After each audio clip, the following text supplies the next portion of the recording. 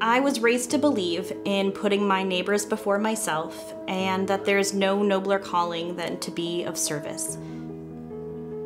My father was a firefighter and my mother was a horticulturist. I used to say that my father worked to make the city safe and my mother to make it more beautiful.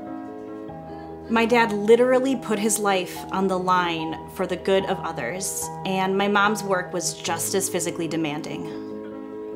I may not be running into burning buildings or laboring in the sun, but I always knew that I wanted to help people.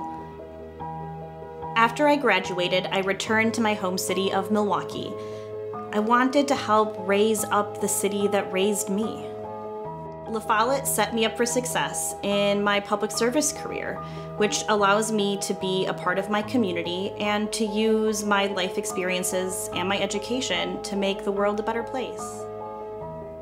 Now I'm helping to make my city safe and beautiful.